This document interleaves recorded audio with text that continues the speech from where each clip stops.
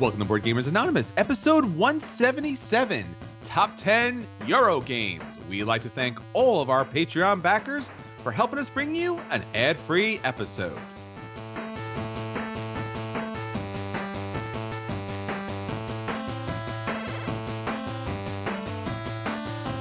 You're listening to a proud member of the Dice Tower Network, dedicated to bringing podcasters together for the greater good of gaming.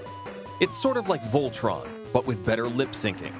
Find out more at Dicetowernetwork.com. Welcome to Board Gamers Anonymous, the podcast about board gamers and the insane fun we have at the table together. This is Chris. And this is Anthony. Anthony, we are still enjoying the wonderful sun that the board game convention season brings us because there's a lot of warmth, there's a lot of cardboard. It's all good, man. Gen Con's coming up. How you feeling? I'm good. I'm not doing any conventions at the moment, but it's been nice and sunny. I got to play TI4 today. That makes me happy. I know you were at a convention most of the last week, and most of our fellow network participants were in Orlando for the week. So I'm a little jealous, but I did get to play TI4, so it balances out a little. That's a tough Sure. one to get out.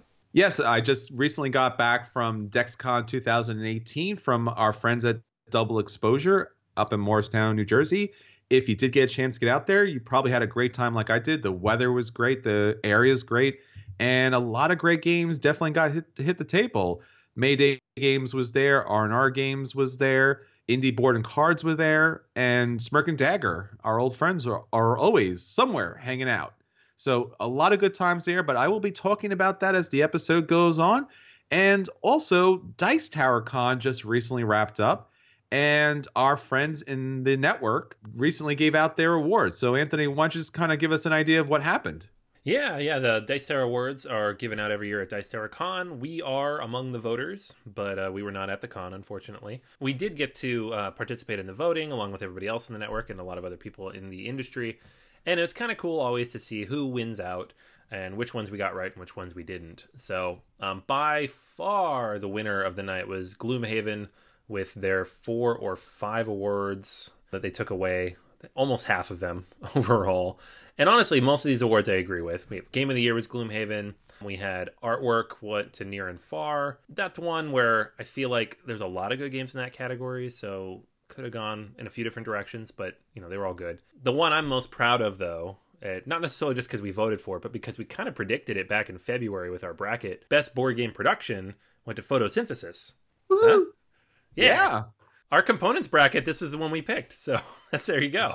it's true. And there was a lot of competition for it. So, congratulations to Blue Orange Games and an outstanding production as far as those 3D trees and that kind of sun that kind of moved around the board was pretty interesting as well. Yeah, it's fantastic stuff. Best co-op, Gloomhaven, of course. Best expansion, Star Wars Rebellion, Rise of the Empire. 100% agree on that. Best family game, Azul. I'm okay with that. Best new designer and best new spell publisher, Gloomhaven. Um, again, no problems there. Uh, best party game was Magic Maze. I think this is the one that I, I would pick a bone with. Yes. I'm fine with Magic Maze. I don't love it. I know you don't love it either. Um, Nope. But I think I like it a little bit more than you. But the other nominees were Word Slam, Meeple Circus, Rhino Hero, and Werewords.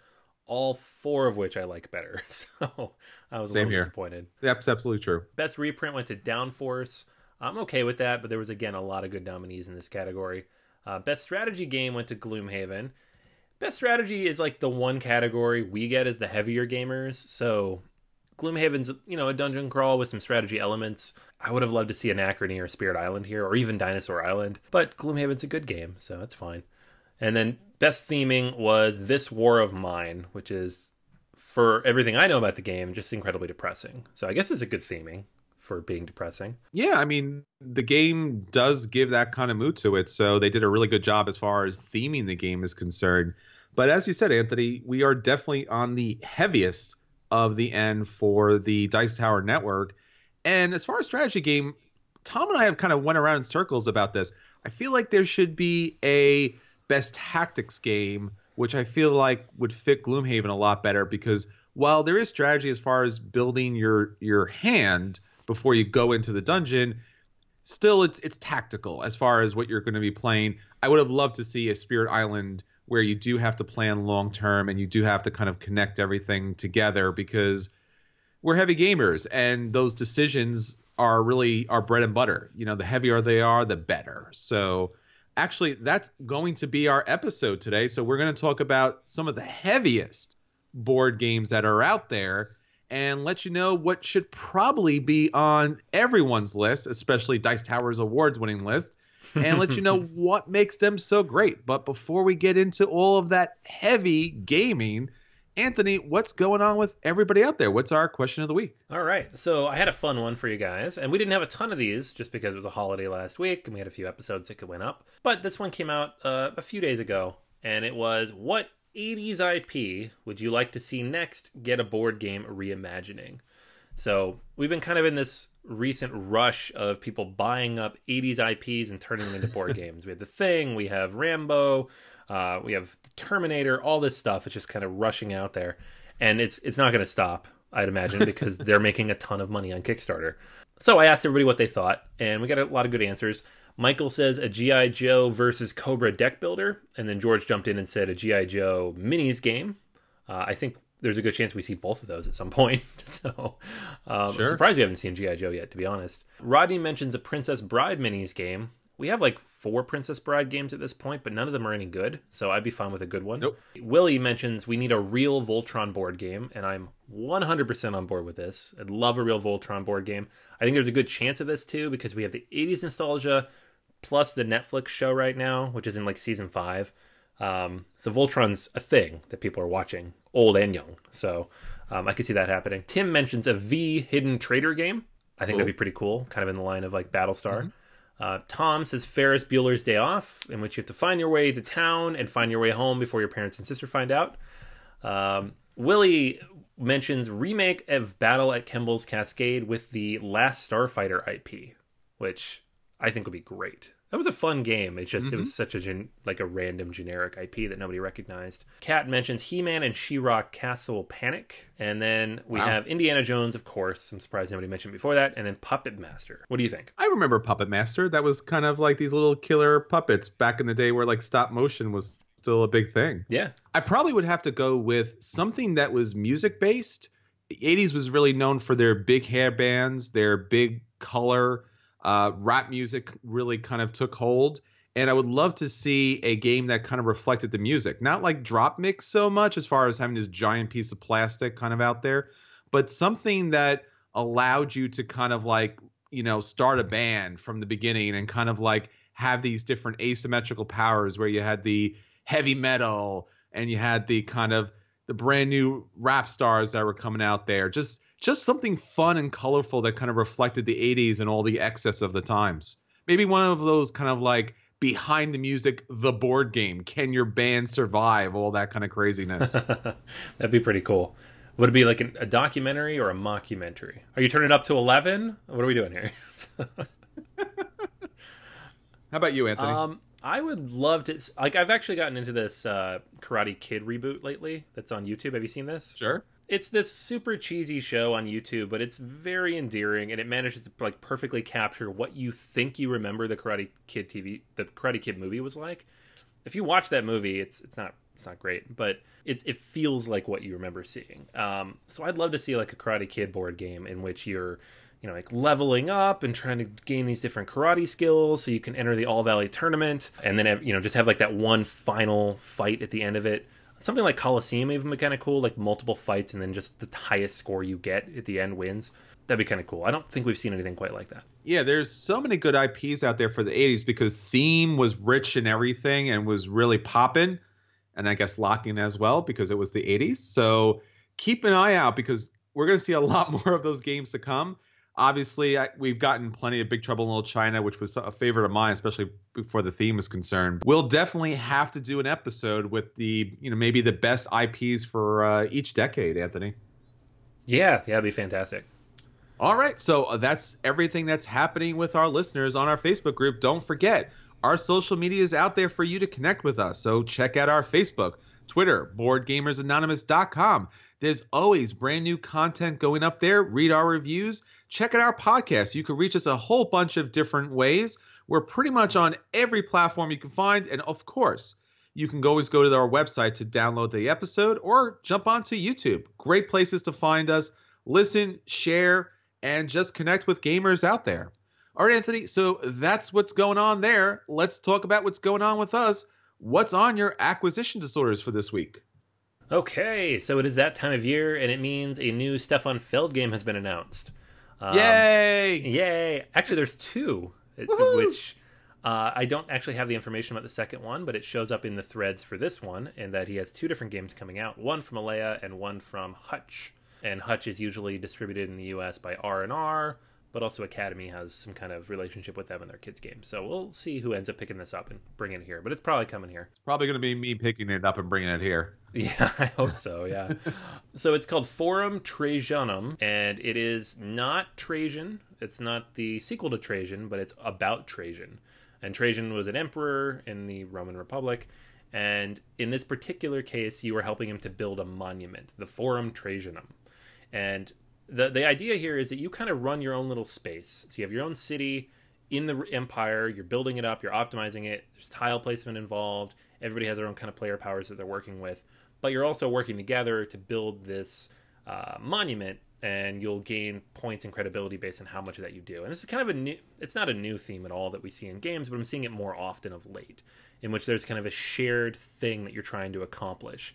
And I just played a game recently called Lowlands. It just came out, has that built into it. Terraforming Mars has that built into it, where there's a shared condition in the game that everybody has to work towards. And if nobody does it, it hurts you. If everybody does it, nothing happens. If one person does it, it benefits them in some way.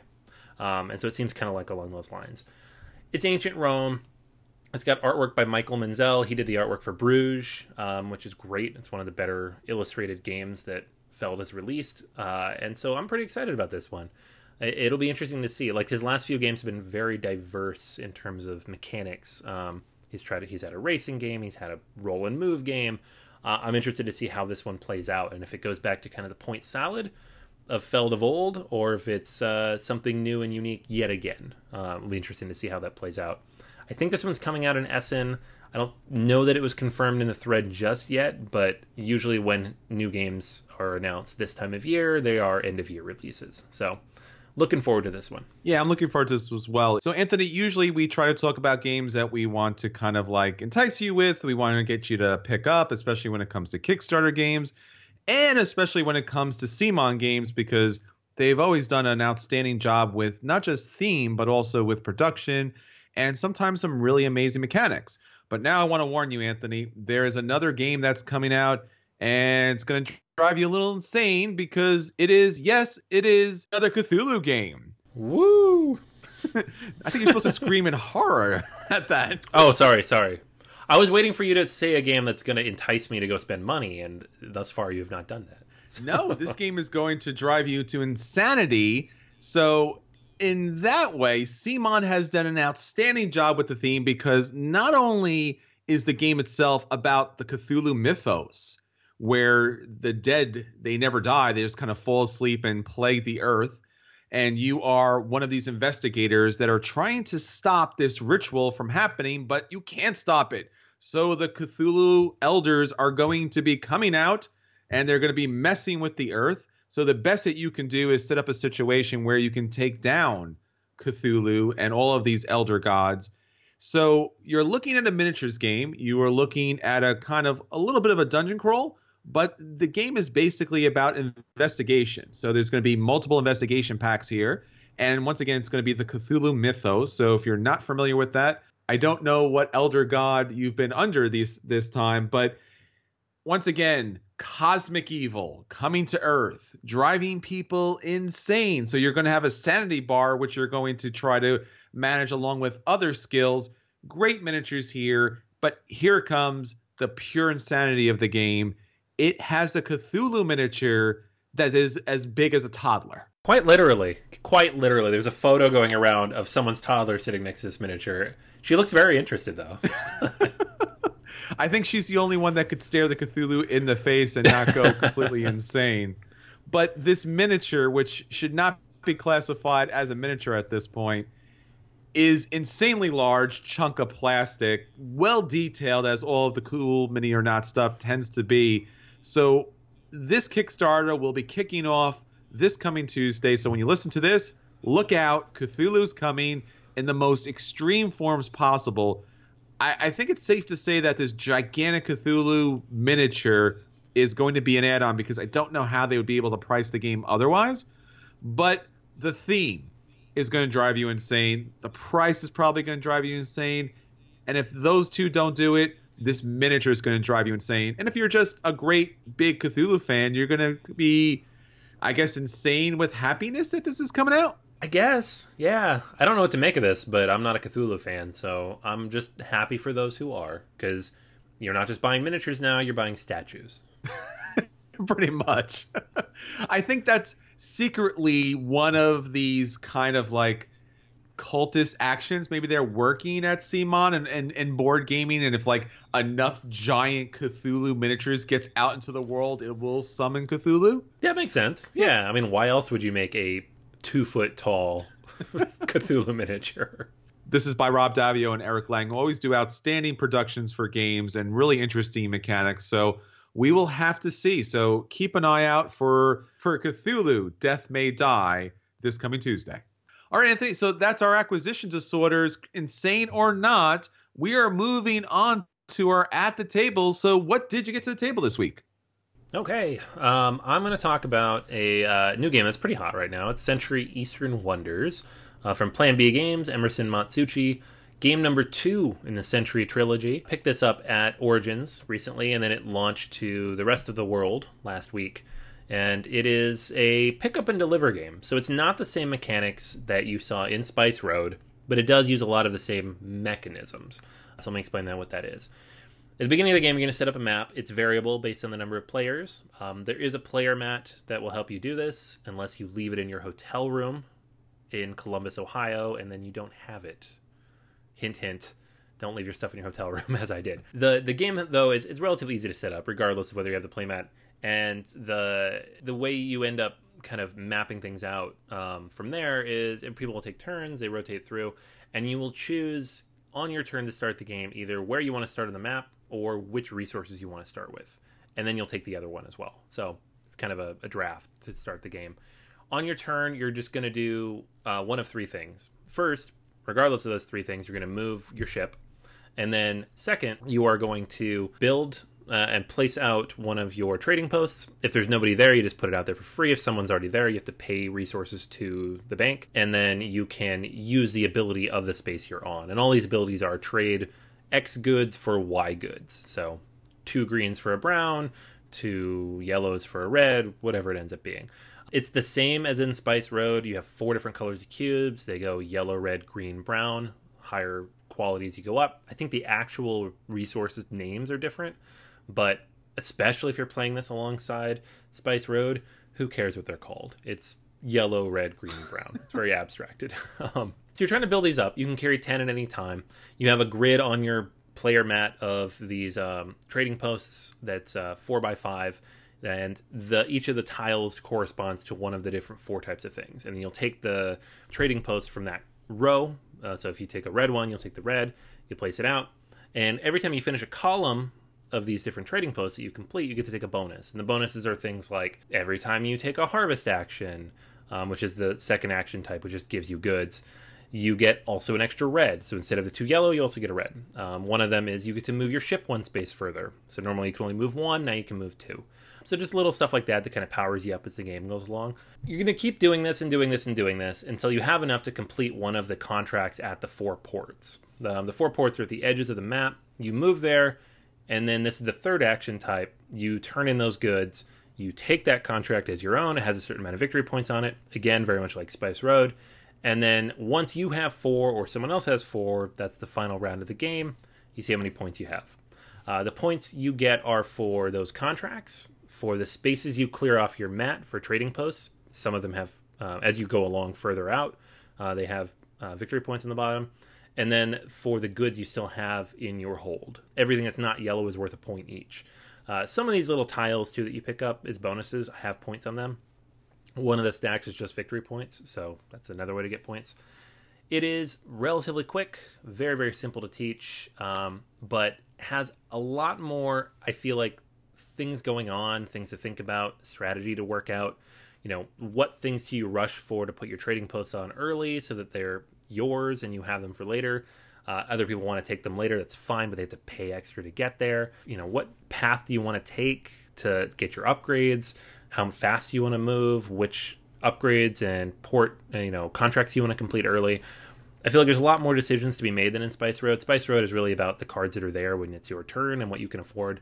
Um, that it's not quite on the level like a Splendor that plays itself, but it's in between uh, for Spice Road. This one is definitely more on the pick up and deliver side, where you make a plan, you follow through on that plan, and you kind of race other people for things. I like that a lot, and it's on the gateway side of the the and deliver genre. So whereas Spice Road for me is a strong play, I'm going to give Eastern Wonders a buy. I think it's solid. I think it's easy to teach. I think it's a fun, quick, and fulfilling game for what it is, and it's relatively inexpensive for what you get. I'm, I'm quite impressed with this. I'm even more impressed that the second game of the series is a little bit better than the first. There's a second game mode, which I didn't really mention, where you use the cards from Spice Road as a second part of the game. You'll be using those to kind of, you know, trigger and take actions as well. I Haven't really played that too much, so not really reviewing that part of it. For but for people who have both, it's kind of a cool upgrade and add-on that you can put into this. So, Century Eastern Wonders, definitely worth picking up. If you like the first one, you'll definitely like this. If you're iffy on the first one, but you like pick up and deliver, give this one a play and then see if it's for you. Yeah, I'm really glad to hear this. I mean, I really enjoy pick up and deliver games. I've enjoyed Century Spice Road a lot. I actually like it more than you do, but I'm glad that we're actually going to have another gateway game that is a solid gateway game that can kind of bring people into the heavier kind of pick up and deliver games. So I'm really excited about that. I absolutely totally love the integration with other games, and that's actually a topic that we have coming up. So being able to do both those things are super innovative and always good to see a gateway game come into play. Yeah, yeah, I think this is a really good entry into the gateway space, and it stands alone because there's not a lot of good gateway pickup and deliver, but there's a lot of good medium pickup and deliver. So if you have those, you want people to play them, definitely get this and kind of get them into that genre. So a game that's currently up for the Kennerspiel is, and now I'm going to call for my pronunciation stunt double, Anthony. Die Quacksalber von Quedlinburg. What he said. So I got to play this game that's eventually going to get an English title, I'm sure, at some point, because it's going to be carried by North Star Games here in the U.S. And basically, what this comes down to is these potion quacks putting together these various different formulas using a cauldron and all of these kind of mythical different ingredients that goes into their potions in order to kind of sell at the different markets. So basically, the board itself is this kind of flat quadrant that's kind of your individual player board, and it's numbered from 0 to 35. And what you're going to be doing in this game is you're going to be pulling out randomly tokens from this bag and then adding it to your potion. If at any point you get more than seven snow peas, then you bust and you'll have an opportunity to either score the different bubbles in this kind of concoction that you made, either by their victory points or by their money that's going to allow you to buy additional ingredients to add to your potion. Now, as I said, this is a press your luck game. So basically, the market is going to be very important as far as what ingredients do you decide to add to your bag that you're going to pull out and add to your potion. Now, some of the ingredients are pretty straightforward. So, pumpkins are going to give you one space because you basically want to kind of spiral out until you get to the highest numbers possible because that's going to give you the most money possible to buy the most ingredients possible and give you the most victory points possible. But some ingredients are going to give you special abilities when they're pulled and put into play. So, for example, there's like a mandrake that's available that's going to put some of those snow peas back into your bag so you can press your luck a little bit more. And as the game goes on, you're going to be able to have more and more money that's going to allow you to purchase things that are a little bit more powerful into your bag that are going to give you things like extra victory points and especially crystals. Crystals are very important in this game because you do have a potion that will allow you to put one of the high tokens that's going to make you bust back into your bag. But later on, those different crystals are going to be able to allow you to refresh that potion. Throughout the game, you're going to have this little drop token that's going to move up, which is going to help you get to the higher levels. And then at the end of each round, the person who's got furthest on their potion board is going to roll a die for an extra bonus.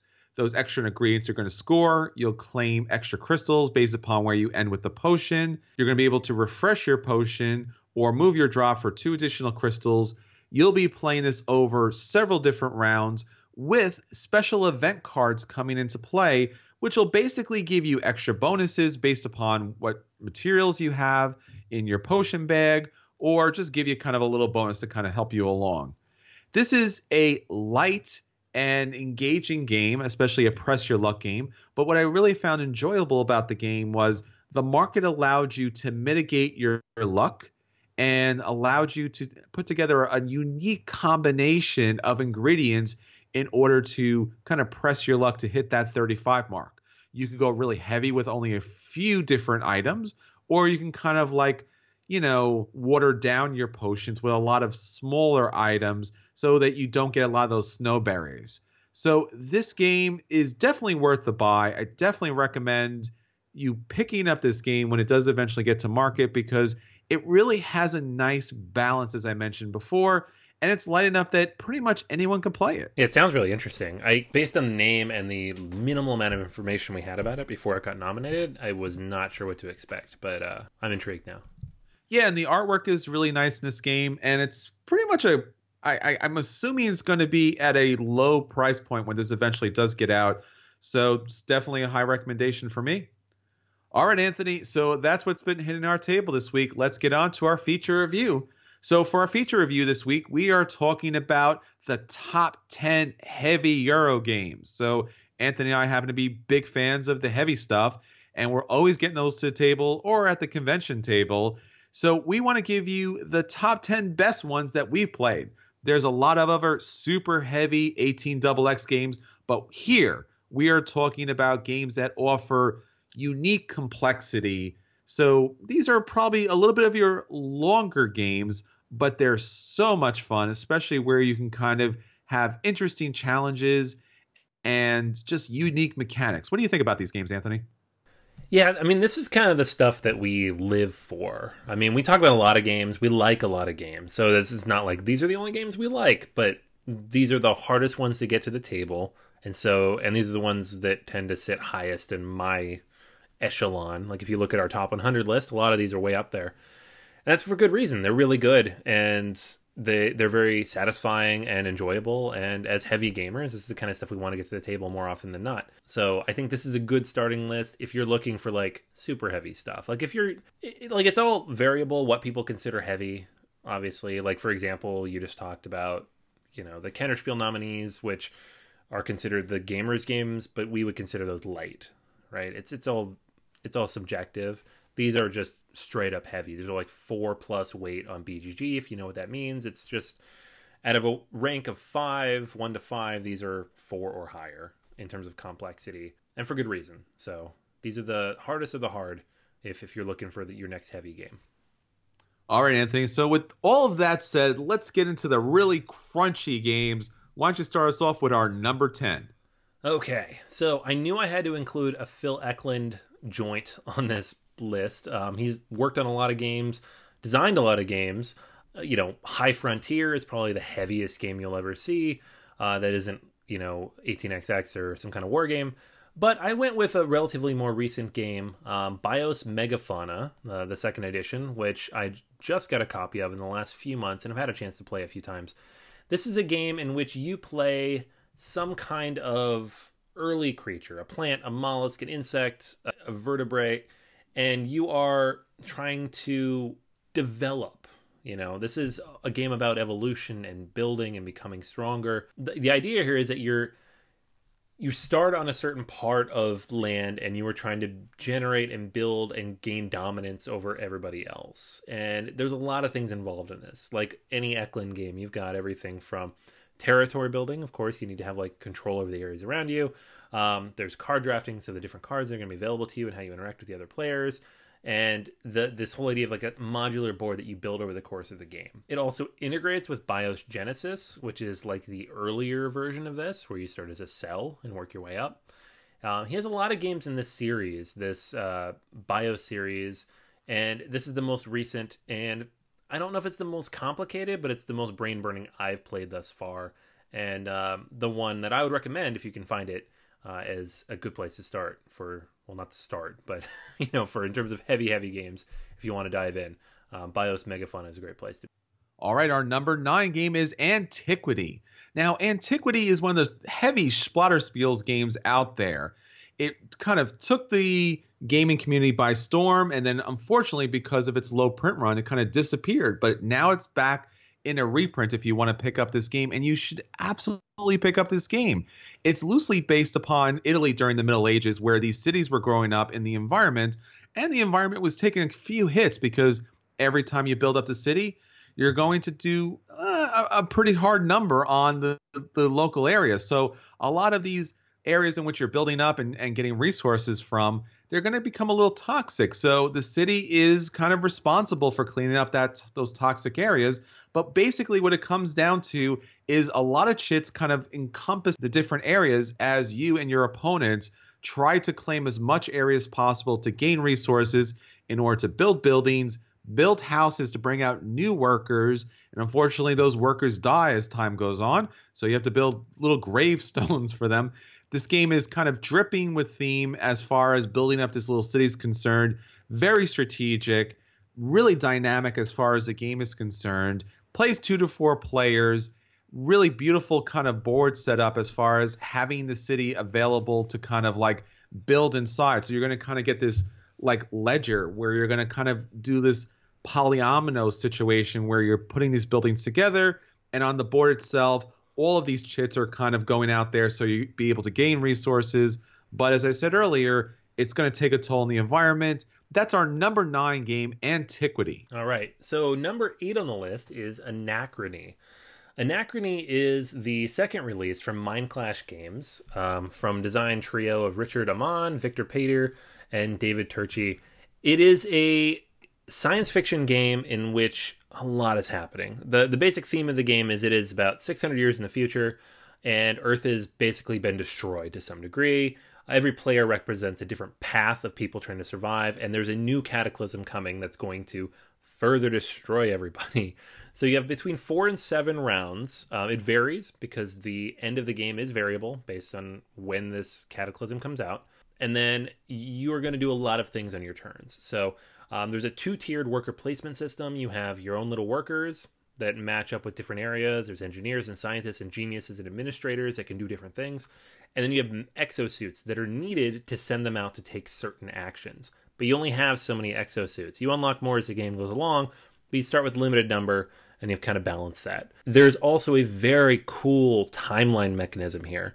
The ability to go back in time and give yourself resources that you will then have to pay yourself back later just to keep the timeline straight. It's very interesting.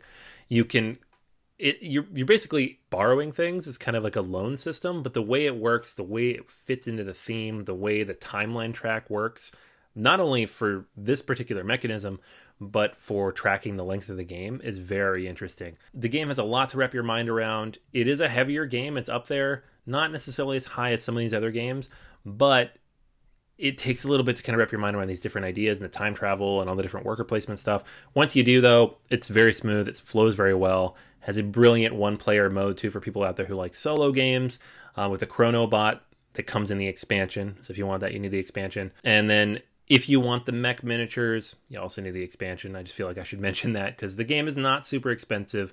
Uh, it's like 60 bucks, but if you want all the cool stuff with the minis, it's $100. Uh, but Anachrony, one of my favorite games right now, and uh, well worth checking out if you like unique themes, science fiction stuff, and worker placement with a unique twist to it. All right, our number seven game is Small City by our designer Alban Viard. This is one of our favorite games for so many different reasons. It's basically SimCity as a heavy Euro game. Now, you probably played several of other games that have probably more recently hit the table Town Center and Card City, just to name a two. But this game is so interesting because, first off, It's got this light kind of fun theme to it about trying to get the most votes possible in the city. So you're trying to attract as many people as possible to your city. But once again, you have to deal with some of the issues that come along with that. So you have pollution, you have crime. So what you want to do is ideally send your people to other people's cities in order to work and kind of leave some trash over there but make your town as beautiful as possible. Build it up with enough structures and enough buildings, enough residential and commercial that you can. If you're looking for SimCity as a wonderful, crunchy game that in- involves a lot of different action selection and managing pollution, Small cities definitely the way to go. That's our number seven game. All right, number six on the list is Gaia Project. This is the new game in the line of Terra Mystica, so it is basically Terra Mystica in space. If you play Terra Mystica, you know the basics here. You start as one of several different unique races. You will build up different resources that you're going to use to put out different structures on different planets. Everybody starts with their own base planet. If you want to build on a different planet, you need to terraform to some degree to get that planet to the level at which you can build. This is different from Terra Mystica in a lot of ways, though, in that there is now open space between the planets. So you need to take, take into account how far you can travel. Um, you need to be able to put satellites out to connect these different planets. The board is modular now. There are 10 different sectors that are going to come out during the game. They're going to determine where things go. So it's a little bit different every time you play. Um, there are different areas of development that you can take, so you're moving up in these different tracks, um, unlike the priest tracks. So, based on the different actions you take and things that you build, you'll move up in areas of terraforming to get more efficient there, navigation to be able to move further, artificial intelligence, Gaia forming um, to be able to terraform specific Gaia planets that give you bonuses and are worth more points later on, economy, and research. There are also endgame bonuses, advanced technologies lots and lots of stuff to keep track of in this game. At its core, it is a route and network building game with variable player powers and a, a, lot of an economic engine that you're kind of building up. But there's just so many unique twists and turns here. And with so many different races in the game to choose from and so many different ways to play the game, it'll be different every time you play it, unless you play it a lot. I always liked Terra Mystica a lot.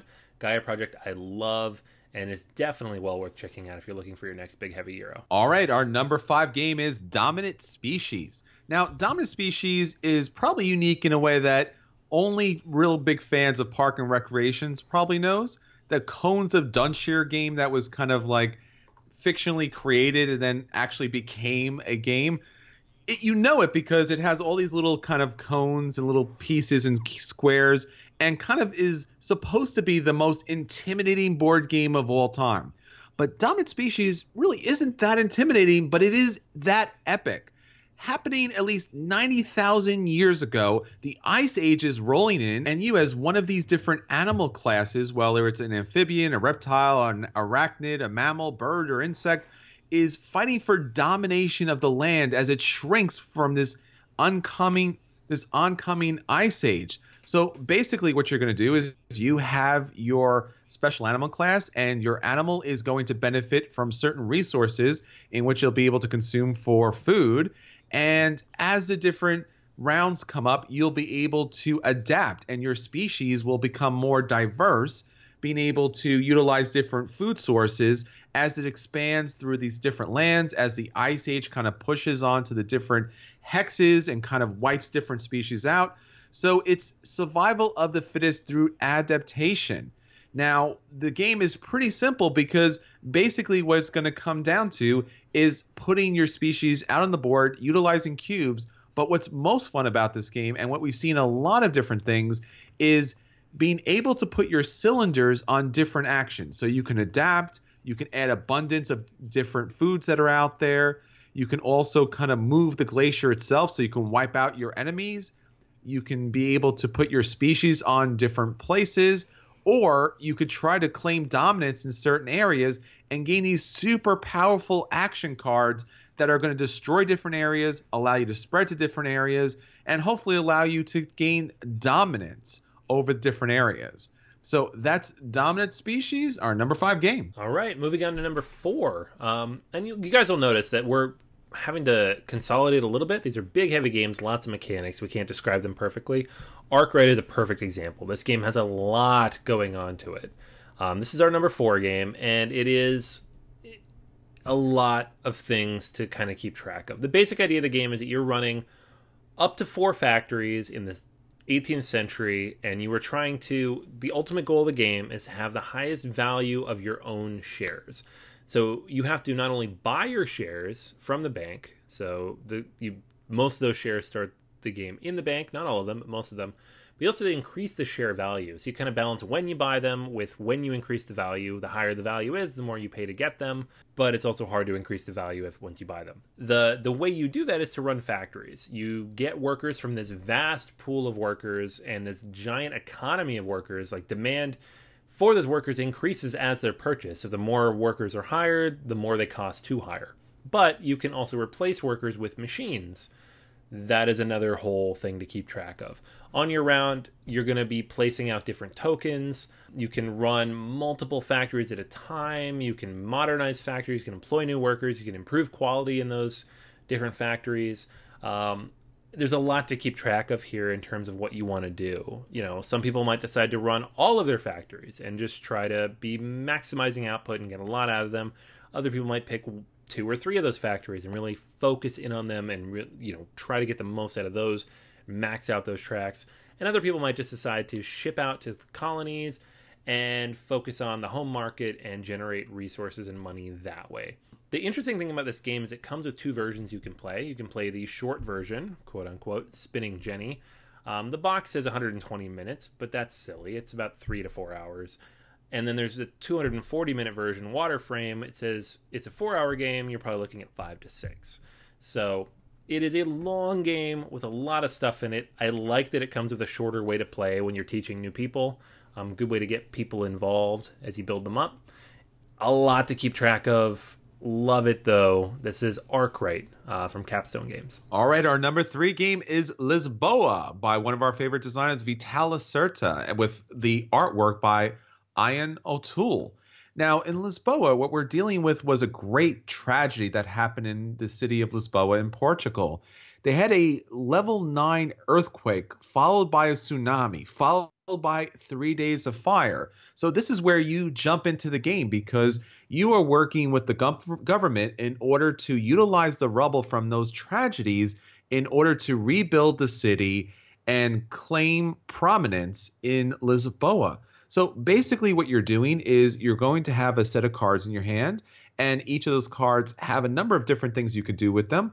But typically, you're going to be playing them for actions in order to engage the king, the city builder, the government, or even the church in order to gain resources, in order to then transform those resources into special abilities, in order to build those towns, in order to gain dominance in those different areas you're gonna. It's a fantastic production, very thematic, and really another kind of heavy, crunchy game that really is not that challenging as far as long-term gameplay is concerned.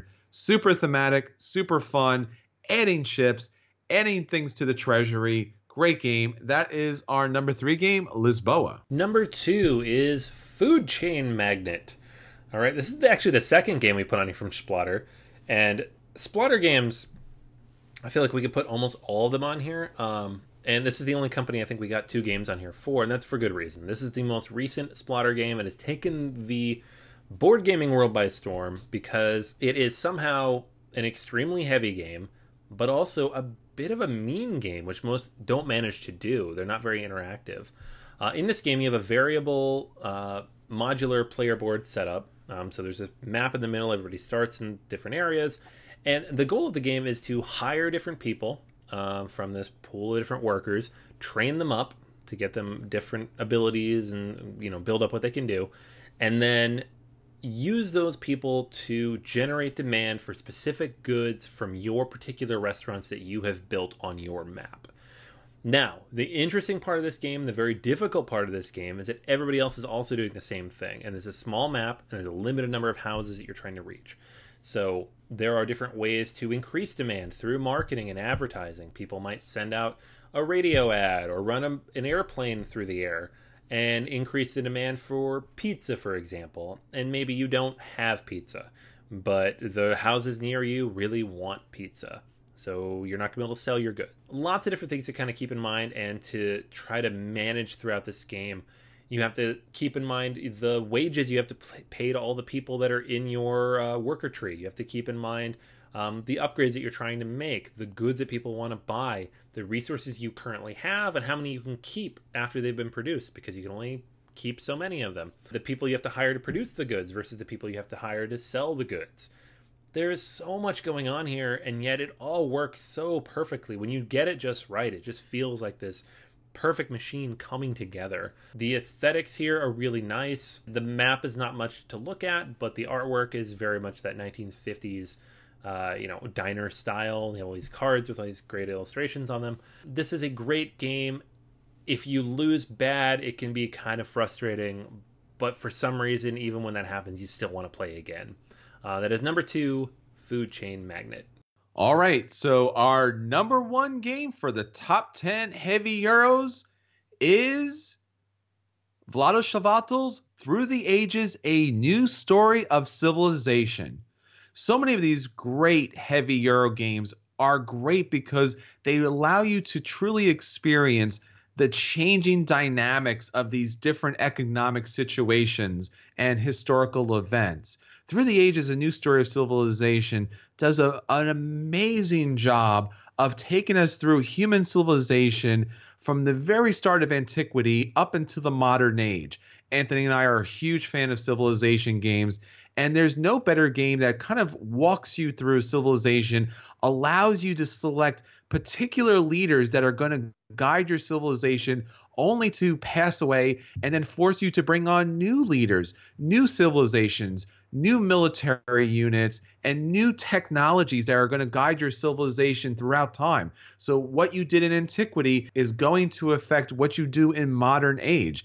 And everything is here. So, you go way back as far as Moses and Alexander the Great up to Bill Gates. So throughout the game, you are going to be managing your population's happiness along with all these different types of religion and technologies and science. At the same time, resources are going to be pretty rare. So, if you're going to create these great wonders, you have to manage perfectly because it is possible that one of the other civilizations warfare cards this game really does set up a beautiful depiction of everything great that heavy Euros has to offer. Important decisions to be made, great artwork, great integration of theme. So many great heavy games are out there. Even if you're not a heavy gamer, we definitely recommend trying out these fantastic games. All right, Anthony, so that's everything for this time, but that's not it for BGA. Check out our Patreon account, patreon.com backslash BGA. There's more great Patreon episodes. But until next time, this is Chris. And this is Anthony. And we'll save you a seat at our favorite heavy Euro game.